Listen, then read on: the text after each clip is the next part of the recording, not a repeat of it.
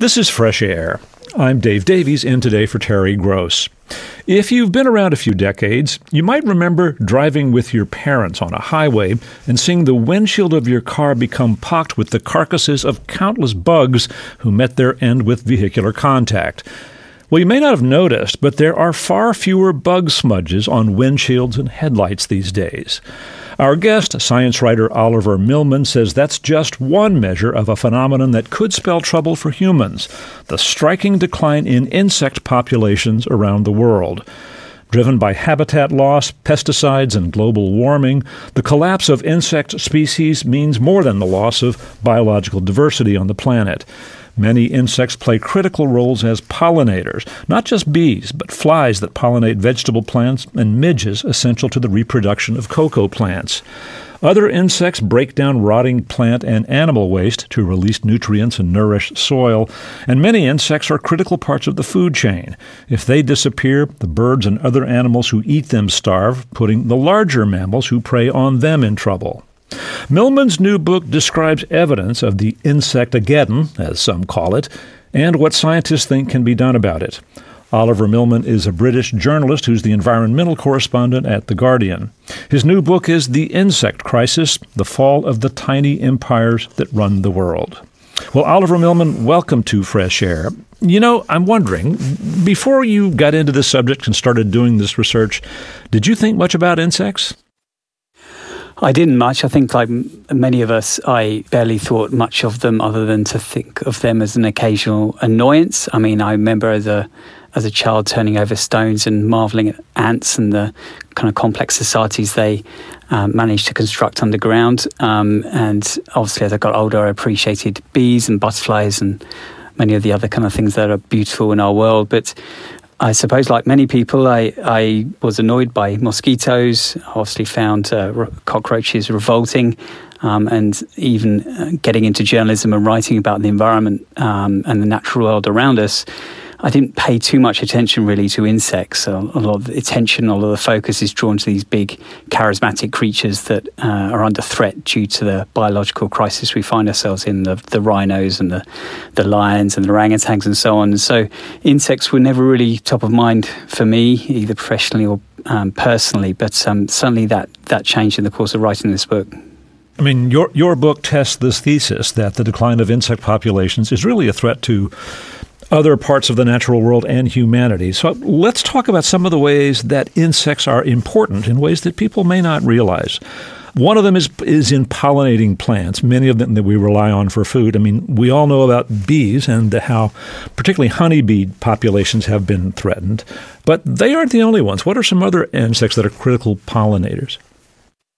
So you, you're right in saying that um, the bees get a lot of the um, focus and the attention when it comes to pollination, but there's a whole array of insects that provide that uh, pollination service. In, in fact, there's three quarters of the world's flowering plants and about a third of the world's food crops depend on pollinators at, at some stage. And so um, it's, it's not just uh, bees, we're thinking about um, flies. Flies are huge pollinators. That includes the midges that um, pollinate the, um, the cocoa crop that um, chocolate comes from.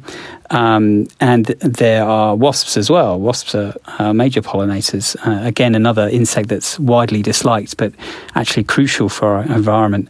And without these creatures, we would we would be without apples, cranberries, melons, uh, almonds, broccoli, blueberries, cherries. I mean, the list goes on and on. I mean, we'd even be without um, uh, ice cream because alfalfa is uh, pollinated by insects that um, uh, is fed to cows to produce ice cream. So we'd be without, without many of the kind of staples of our lives, many of the luxuries of our lives. Um, you know, curries would become a, historical dish because cardamom would uh, not be there, cumin would not be there, many of the kind of spices, many of the things that make our diets kind of colourful, interesting, and nutritious is uh, would be stripped from our lives without insects. And I think that's a really important thing to think about when we're thinking about pollinator declines because many of the world's poor um, rely upon um, agriculture that's directly pollinated in their immediate surrounds. And without that, a lot of the nutrition is stripped from their diets.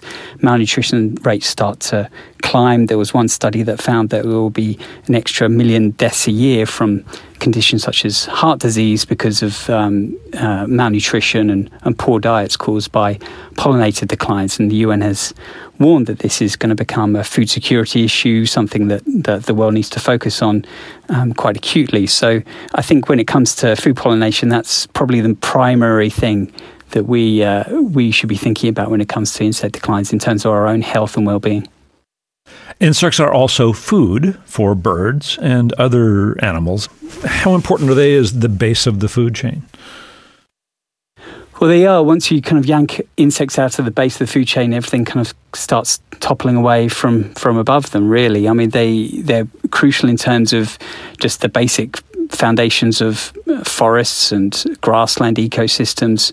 Uh, when you think about the replenishment of soils, the cycling of nitrogen through the through the soils that ensures that plants grow, um, and then, as you say, as food themselves. I mean, we may hate mosquitoes, but they provide a huge amount of food to frogs and then uh, also birds. And once you start climbing up the the food chain, you start affecting things that we really do uh, value. So there's, as well as these declines uh, that have been documented in insects, bird numbers have been um, reported to be down in, in several countries, and, and the, the birds that eat insects are, the, are, the, are faring far worse than the the, bo- the birds that are omnivorous, such as uh, crows, for example. So um, they provide uh, a really important base to the to the food pyramid, uh, and they provide a really crucial part of uh, of our overall environment. I mean, the world, our surroundings would be far quieter, far duller, far drabber without insects.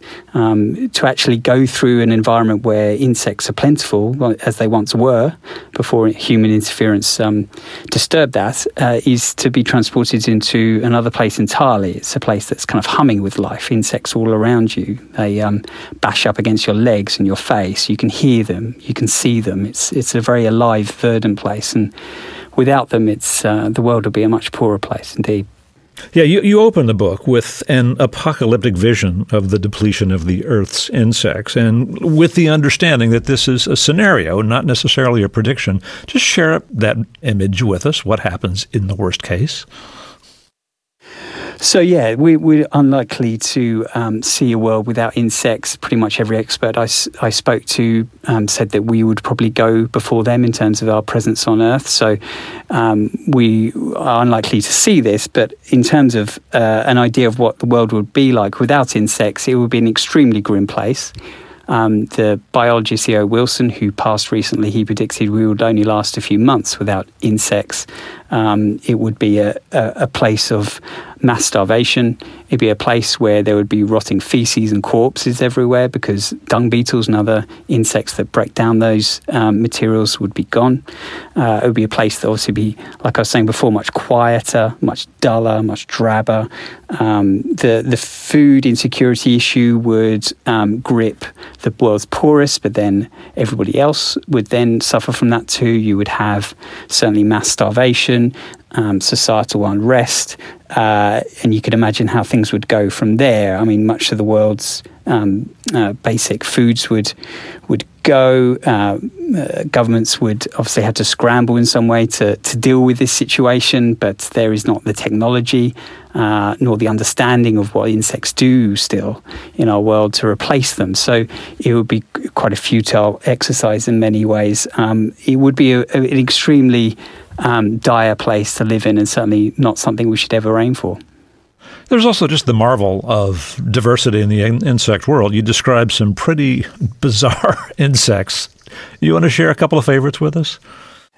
Yeah, I mean, you can spend forever learning about uh, insects and, and the things they do because there's so many of them, and yet so many of them are still unknown to us. I mean, there's one million known species of insect, but it's estimated there's maybe 5 million, 10 million, maybe 30 million um, species of insect that we don't know about yet. Um, and the ones we do know about, we're learning about new things about them all the time. I mean, I'm, I'm a very big fan of the, the caterpillars that can generate their own antifreeze to ward off the cold. That seems like an incredible um, uh, ability to me. There's a water beetle that once it's eaten by a frog can actually escape from its um, rear end the, uh, the frog's rear end to actually escape being eaten by the frog. Um, there's, uh, I mean, even insects that we revile are, are, extremely impressive when you think about them objectively. I mean, cockroaches can last two weeks after being beheaded. They can run at incredible speeds. They can um, survive huge amounts of um, uh, uh, poison and radiation, even. Um, bees in themselves are just incredible creatures, just in terms of their um, logistical work, their ability to um, organize socially. Um, honeybees can un- understand the concepts of zero and can add and subtract numbers. You have bumblebees that researchers have found can be can play soccer. They can learn to play soccer with a with a food rewards. Um, and there are um, uh, bees that can detect landmines as well. I mean, there's all kinds of incredible things that they can do uh, with their um, uh, with their minds for such small creatures. Um, and so, the more you learn about them, I think the more you're enamored with them, and you the warmer you feel about insects, the more you you discover how incredible they they uh, they really are. You know, you've mentioned cockroaches and their durability. Why are they so tough? Why do they survive things that others don't?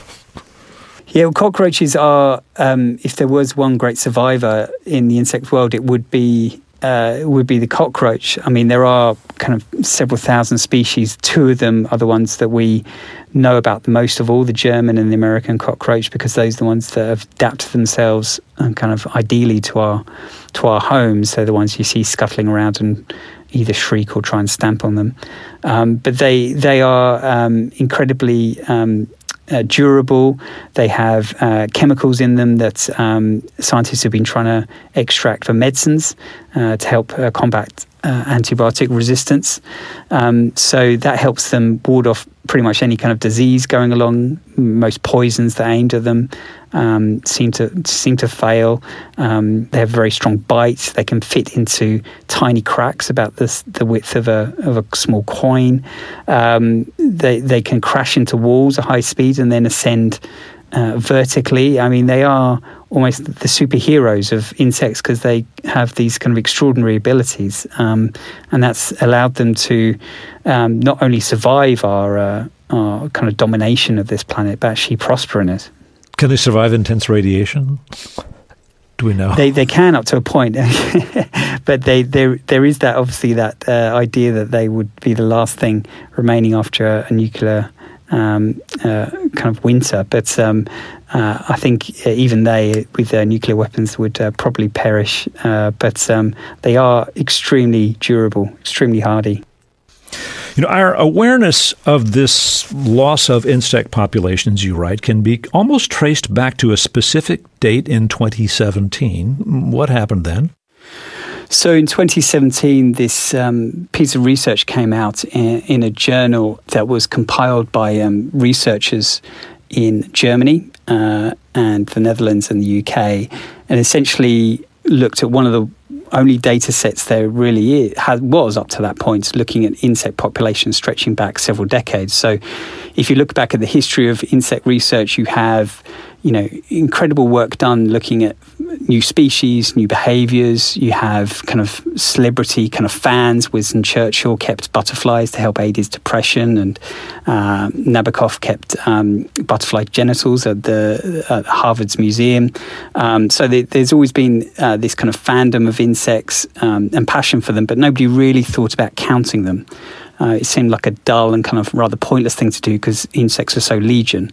But um, what the researchers in uh, Germany had done is this entomological society there.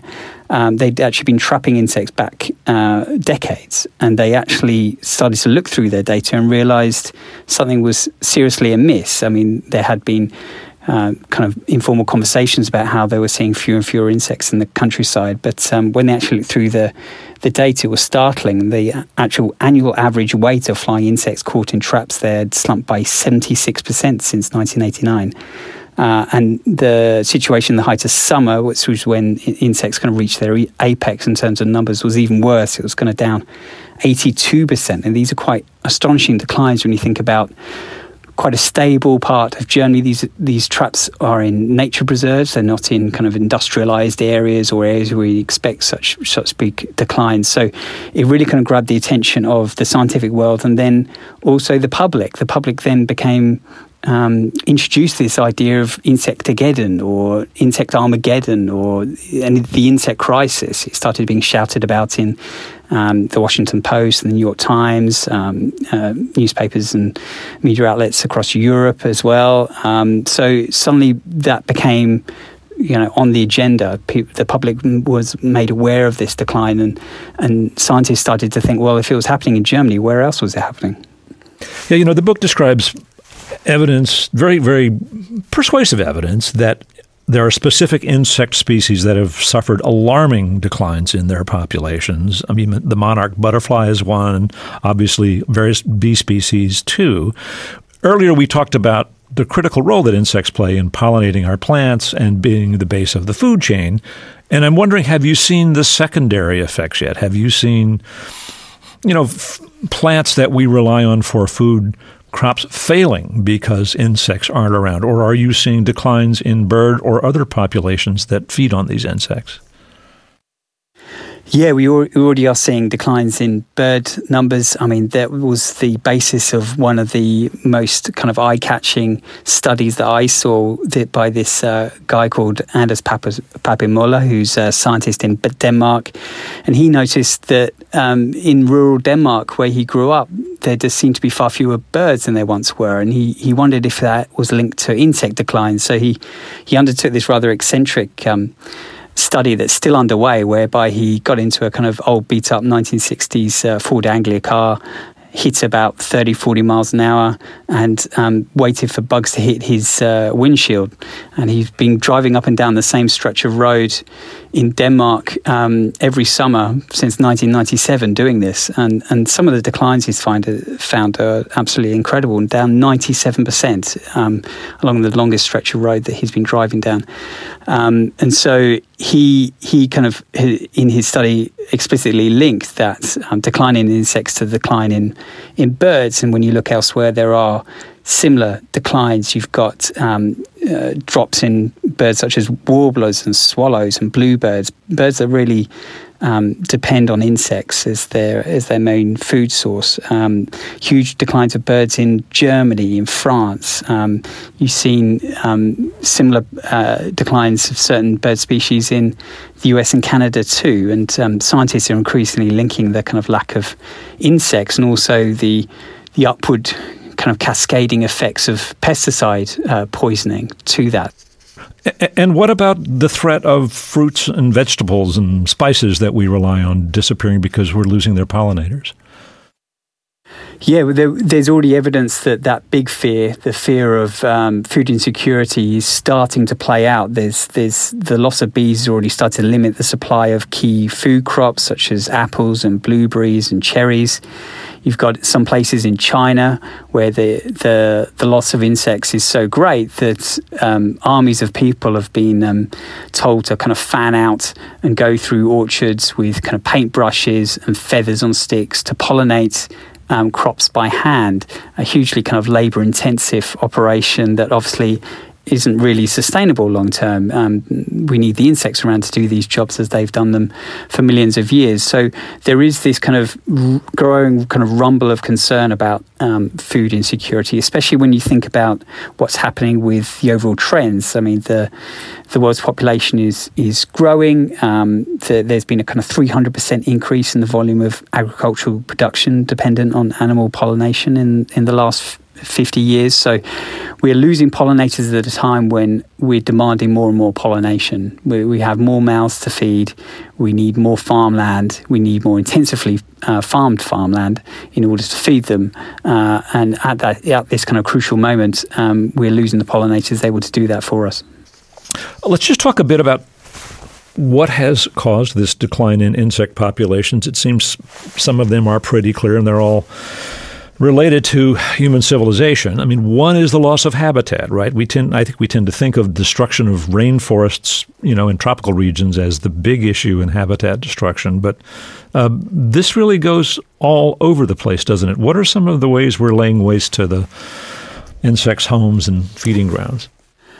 Yes, I mean, like you say, when we think about habitat loss, we think about the idea of the Amazon rainforest being burnt down or, or chopped down. Um, but I mean, a lot of the, the habitat loss is far more mundane. It's the conversion of a barren piece of land or seemingly barren piece of land into a Starbucks. It's the the conversion of a a field where wildflowers will grow into a field of soy or corn or another um, single crop. It's it's largely driven by agriculture.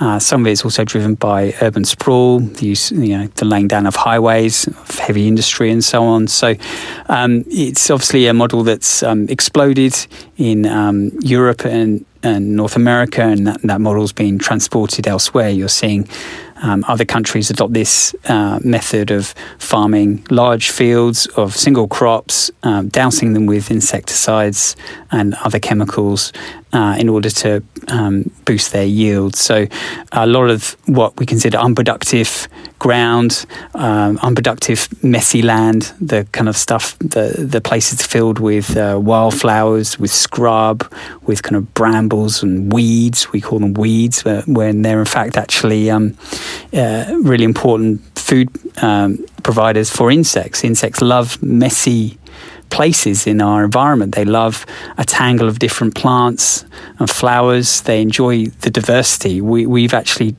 sort of stamp out diversity in our lives around us. We want uniformity, tidiness, uh, a kind of manicured landscape of lawns and crops and and and very well ordered cities that, that don't have weeds and plants growing everywhere. And and that's actually been deathly for insects. So, to the extent, I mean, big agriculture is, of course, a huge problem. But for those of us who, you know, live urban or suburban lives, um, um, you don't need a manicured lawn. You're better off if there's some some weeds here and there, huh? Yeah, I mean, when I when I spoke to an entomologist about um, what we need to do, she said, "Well, uh, we need more of an inaction plan rather than an action plan." I mean, it's not it's not like we need to invent a new vaccine here or uh, some new computer program or a, a, space program or anything like that. It's simply about letting go some of the the habits we've got ourselves into. So maybe rake your lawn a, uh, a little less, rake the leaves a little less. Um, maybe not have just manicured grass that you cut down every uh, every week. Maybe let it grow a little. Maybe have some native plants in rather than those kind of striking ornamental plants that you that you like. Um, just let things just go a little bit. Maybe maybe don't have as many um, chemicals that you put in your your yard. Um, and I know there's a kind of a cultural aspect to that. Um, many of us like the idea of kind of well ordered, tidy uh, lawn. Um, is kind of socially acceptable to have that. It's seen as the ideal. But in terms of insects, it's, um, extremely bad, and so um, there should maybe be a rethink about what what we should be doing uh, with that pesticides are a big problem, and it makes sense that they would, since they're generally targeted at insects that eat crops and other plants humans want to keep. Um, you write that there's a class of compounds called neonicotinoids, if I'm saying that right. Neonicotinoids or neonics for short. Okay, neonic. Good.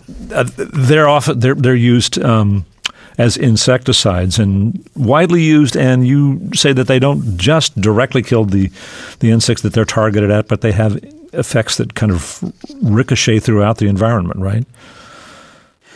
Yeah, that's right. So this is a kind of class of insecticide that's been kind of widely adopted um, in the US and many other countries. Uh, and and they're not just sprayed anymore. I mean, neonics are embedded in the coats of the seeds that are given to farmers. So often farmers don't even know that they've got neonics in their field. They're just given that by the the company that sells them. Um, and the reason they put in the seeds of the um, coats of the, the seeds is that they're systemic uh, pesticides, which means that they go through every kind of root and branch of, of the plant as it grows. Um, so therefore, protecting the plant um, theoretically from from pests. The the unfortunate thing is they're water soluble, so as soon as it rains, they, they leach out of the plant into the soils, into the water, therefore affecting any kind of life really that's um, that's in there. Um, and also, um, the frustrating thing for, for many entomologists is that they don't really affect the problem. I mean, the peak of the pest, the pest, the target pest, actually comes after much of the insecticide has washed away. Um, so you're not actually uh, really protecting uh, crops, and crop yields haven't been shown to dramatically increase because of their use. But you are affecting bees and butterflies and other really important predator insects that would eat the pests that you're trying to keep away. So they've actually been um, fairly disastrous for, for many insects, um, but they are widely um, used. I mean, the, the cropland that will be planted this year um, in the US about, will be about the size of Texas in terms of the area treated by neonicotinoids. So it's a kind of pervasive problem. The toxicity of the um, uh, rural environment is growing and growing. Uh, the past quarter century has seen US agriculture become 48 times more toxic to insect life, one, one study found. So the, this kind of poison is building up and up and up in terms of the, um, in terms of the uh, agricultural uh, land in uh, the US, and that has proved uh, extremely harmful to insects. You know, as we speak, I can imagine farmers who use these these insecticides and the manufacturers of them listening and saying, "Wait a minute, there's another side to this story." Yeah, so there's kind of big three um, pesticide uh, companies now. Um, Bayer, Monsanto, or which subsume Monsanto, uh, is one of them. They're the they're the ones that make um, Roundup. Um, they're the ones that um, manufacture a lot of these neonics, and and their argument is, well, look, we, we help food production around the world. If the world we didn't have these um, chemicals, then um, the world would not um, be able to feed itself. And certainly, when you speak to scientists about this point, they will concede, well, yes, we do need pesticides in certain places at certain times. I mean, it's not like um, crops do not benefit at all from uh, pesticides at certain moments. I think the problem has been the over application of them. The the sheer volume of, of chemicals going onto fields has actually been disastrous for life all around.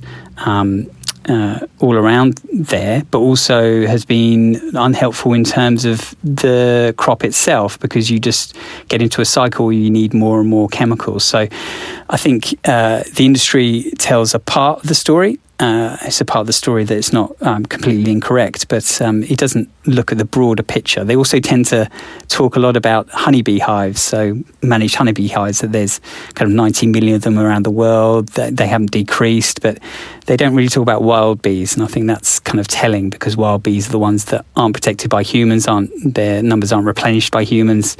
Um, they have no protection from the environment they, they live in, and, and they are in sharp decline in many places around the world. Climate change is a huge factor in the decline of insects. I mean, give us some examples of how it's affecting populations. Yeah, well, there was this assumption, I think, uh, amongst uh, some scientists that um, insects would be less affected uh, by climate change than other creatures. I mean, they are, after all, they are the great survivors of our world. They've survived the five great mass extinctions that we know of in Earth's history, um, uh, where the climate changed, you know, radically. Uh, but uh, the more recent research has actually found that they are actually maybe more in peril than than many other types of creature in the world. There was a study showing that um, by the end of the century, um, half of all insect species will lose more than half of their current uh, range, the, the range that they're able to live in, if temperatures are not kept in uh, in check. So, the actual bands of temperature, the bands of um, precipitation that insects feel comfortable in, um, as those start to shift, not many of them will be able to move. So, we obviously all heard stories of fish being able to swim towards the poles, or other creatures being able to kind of migrate northwards to kind of cooler climes as the world heats up. Um, insects are very limited in their ability to do that. Um, I mean, some dragonflies can fly long distances, but other than that, um, insects pretty much stick to the area that they have always been. Um, so um, there is a kind of a big worry that um, that climate change will take a, a, massive dent in populations. And we're already seeing the start of that. There was a study in 2020 that found that um, bumblebee populations have nearly halved uh, in uh, North America uh, and down by about 17% in in Europe in recent decades, and the the bees suffering the worst have been in the areas that have heated up the most. So there are these links now being established between um, climate change and, and individual insect populations declining. Well, at the end of the book, you look at some efforts to reverse things and restore habitats and reverse or impede the decline of insect populations, um, particularly in the areas of habitat, et cetera. Um, some of this is going on in Europe, some in New York. Tell us about what you found. Yeah, so there are there are some efforts to to help um, recreate the kind of world that uh, insects flourished in, um, and there are, like you say, efforts all over the place that can be attributed to that. Um, Bavaria is a good example. Uh, the state in Germany that actually passed a referendum in 2019 to um, uh, to give 30% of farmland over to become organic and insect friendly, to put back wetlands and hedgerows, pesticide use to be slashed and so on. And these kind of um, these kind of efforts are kind of gathering pace in, in several countries. Um, the EU has banned all the major neonic pesticides that we are talking about before. Um, Germany has is looking to shut down uh, outdoor lighting that's intrusive, and also um, encourage people not to use um, gas powered leaf blowers. Very noisy, of course, and polluting, but also terrible for, for insects because they like to to gather under under leaf litter and so on. So um, there are these kind of moves underway in the US. You are seeing. Um, uh, efforts at a, at a kind of city level, I think, uh, mostly of all.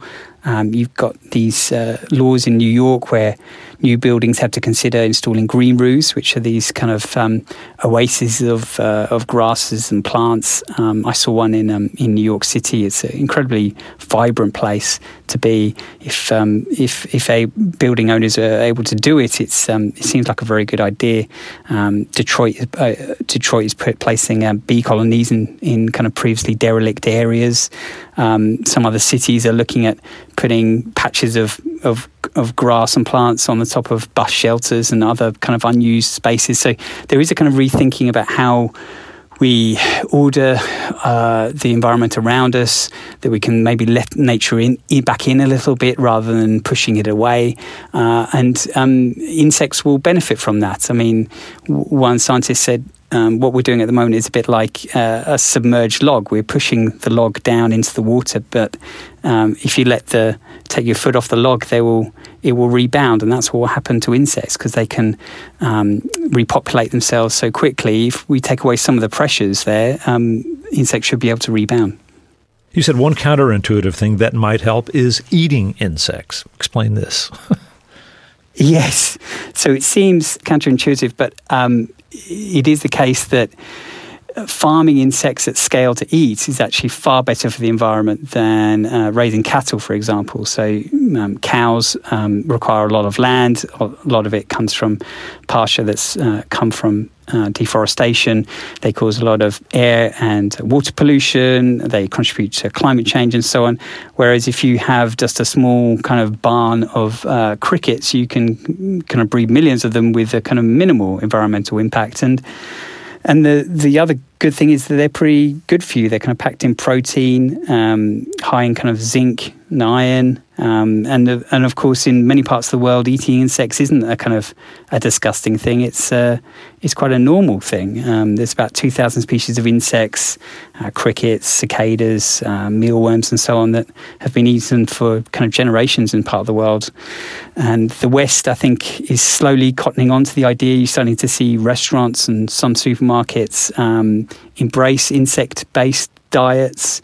Um, you know, crickets with chili on them, ants dipped in lemon. Perhaps we'll start eating all those soon. You know, I began by asking you if before you got onto this subject, you paid much attention to insects. Do you look at them differently now? I do, yes, I do. I mean, I think it was about two summers ago. I my um, kitchen was invaded by a kind of army of ants, and they just kept marching into my kitchen. Whatever I tried to do to try and stop the flow of them, um, patch up the hole they were coming through, they would find a new way in. And I think, I think maybe a little while ago I'd be extremely annoyed by that, but now, now I was kind of, kind of fascinated and uh, impressed by their tenacity and their adaptability, and uh, and I've that was a consistent theme throughout writing this book. And now I kind of appreciate insects in a way that I didn't quite before in terms of their the way that they've managed to kind of carve a niche for themselves for 400 million years uh, and survive these great events um, through their ingenuity. And now they're faced by the greatest crisis they've probably ever faced now.